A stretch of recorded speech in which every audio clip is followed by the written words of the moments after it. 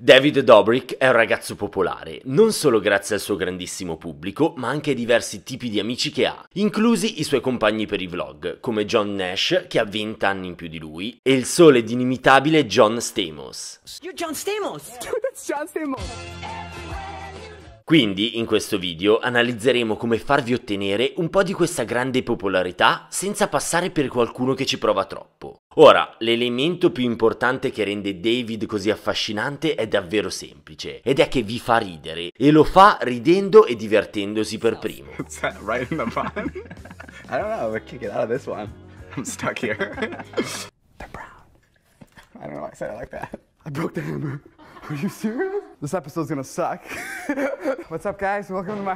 E potete vedere questa cosa del far ridere le altre persone e farle divertire fino all'estremo nei vlog di David, in cui ci sono enormi risate ogni 5-10 secondi.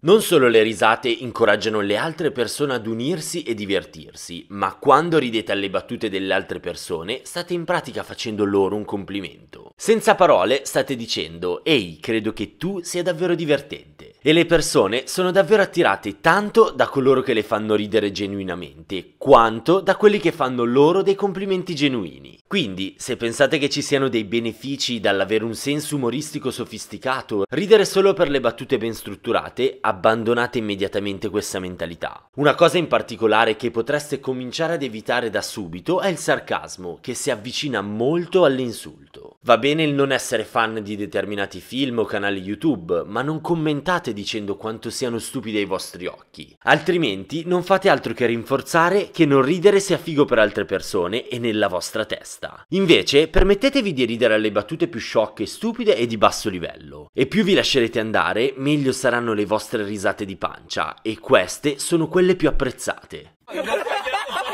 Service here, it's so quick, it comes right to your table. Oh shit. Allo stesso modo, non dovete rispondere alla lettera ad ogni frase di una conversazione. Per esempio, nella prossima clip, David sta parlando con uno dei copresentatori che dice che vorrebbe essere a casa la sera per guardare The Office con i suoi figli, e David si sposta verso un'interpretazione più umoristica di quello che ha appena detto. Like they're really into The Office right now, so they sit and watch The Office. That's so funny. So funny how they're into the office, but they both still call you daddy. I love the office. Me and my daddy watch it at seven.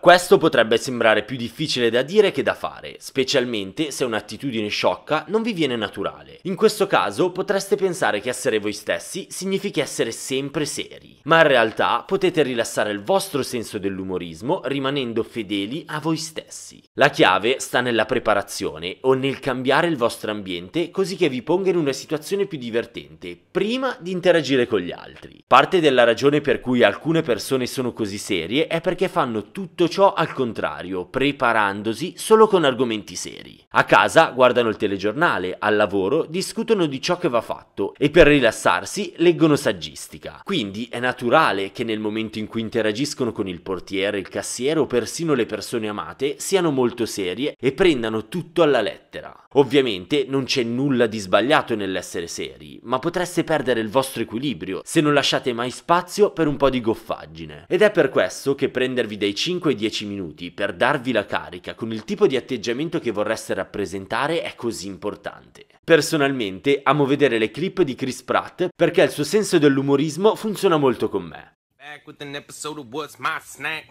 Back with an episode of What's My Snack. Last chapter, you ain't seen nothing. What's my snack? It's a carrot cake muffin. it's so good. More like, what's my crack? it's good.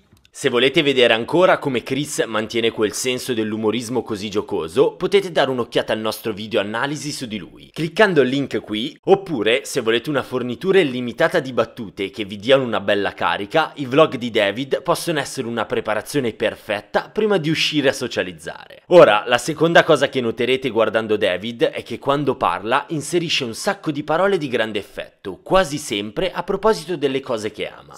I'm still like in like the best. I have the best job in the world, so I can't complain. I posted a Vine. This is actually a really cool story. Like I, I'll still like talk to my old high school teachers. Really? Like Who yeah. talks to their high school teachers? Me. Like I love Why? it. I'll, I'll go back and visit them. What do you talk to them about? Like you're it's not weird. In I. I was always so excited. Like I was like on cloud nine. I was literally, I Uh, was and, so. and that, and then in Palm Springs, like it was the most exciting thing. Anche quando sembra che abbia dei sentimenti contrastanti, non esce in modo neutrale, ha parlato delle cose che odia e poi di quello che ama nello stesso momento. And they're both f***ing great. Yeah. They're both great. And they both suck. La scelta di queste parole dal forte impatto potrebbe non sembrarvi molto, ma pensate ad una persona che dice di star sempre bene. È difficile che le cose vi stiano a cuore durante le interazioni con loro e finiscono per passare come delle persone dalla personalità blanda. E dal momento che non volete passare per quello che ci prova troppo, la risposta qui non è impreziosire il vostro linguaggio in modo artificiale con dei superlativi che non sono davvero vostri. Dovete muovere invece le conversazioni verso le direzioni delle cose di cui siete davvero sicuri in particolare quelle cose che vi piacciono davvero. Per esempio, se qualcuno vi fa delle domande per potervi conoscere su dove e come siete cresciuti e non siete troppo contenti di queste risposte, passate invece a qualcosa di cui vi importa davvero e potete vedere David farlo qui, in questo caso verso il negativo. But it seems like the kids always have something more to prove. Yes. Do you, do you think that kind of fuels you? Is that in your DNA? Maybe subconsciously. I've never thought about that. I've never. I, I was never like. You, you know what I hate? I like this. When I first moved to LA, mm-hmm. and I would pull up to like people in Lamborghinis and Ferraris, and I'd be like, "What do you do?" Like, cause that's just my favorite question to ask someone. They- How do I get the Ferrari? Yeah, and they go, and they go, "Work hard," and it was just, it's such a f- you bullshit. answer. E qui si sposta verso il positivo. First YouTuber friend. That's tough. I'm gonna change it to first Viner friend. Jack Dietrich, the guy who works here. Jack, come here. This is Jack. Um, he actually helped me with my. he works here now. Genuinely kicked off my career, which is insane. Thank you, Jack. Parlando in generale, dovete essere positivi, ma qualsiasi emozione è meglio di nessuna. Se siete fan del canale, a questo punto potrebbe sembrarvi un po' strano, perché in video su personaggi come James Bond o Don Draper abbiamo parlato di come la loro sicurezza sia mostrata attraverso la mancanza di dimostrazioni emotive, con il non essere reattivi, come qui. Yankee, eh, go home. Che pure è brutto. Are they making fun of me? A little bit. Per chiarire, la non reattività che Bond e Draper dimostrano è la conseguenza di provocazioni, spesso di avversari. La loro fermezza ci mostra che non hanno paura che le cose vadano male e non importa cosa accada, staranno bene, il che è il cuore della sicurezza. Ma in molte situazioni sociali, sapere che andrà tutto bene assume più l'aspetto delle espressioni entusiaste di David piuttosto che la freddezza glaciale di Bond. Quindi, anche se potrebbe sembrarvi diverso a primo impatto, parlare con superlativi entusiasti dimostra la stessa sicurezza interna che potreste vedere in James Bond o Don Draper. Alla fine quella persona crede che tutto andrà bene e può permettersi di essere anche se stessa in modo goffo. Ora, una domanda fantastica che vi guiderà nella direzione di questi momenti di vera sicurezza è come mi comporterei in questa situazione se non avessi paura? E in molti scenari sociali la risposta è che sareste molto più espressivi, come David. Inoltre, se vi sta piacendo questo video e volete essere sicuri di non perdervi nessun altro dei nostri nuovi video, cliccate il pulsante iscriviti e la campanella delle notifiche. In questo periodo sperimenteremo con diverse programmazioni di caricamenti e senza le notifiche potreste perdervi alcuni dei prossimi video che sto pianificando su persone come Hugh Jackman, Scarlett Johansson e magari uno sulla differenza fra sociopatici e psicopatici. Ora, la prossima cosa che notate di David è che si trova davvero a suo agio con l'umorismo verso se stesso, spesso scoppiando a ridere da solo mentre racconta le sue storie imbarazzanti. This is so stupid. It's not so bizarre. I, I open my mouth and I let the water pour into my mouth.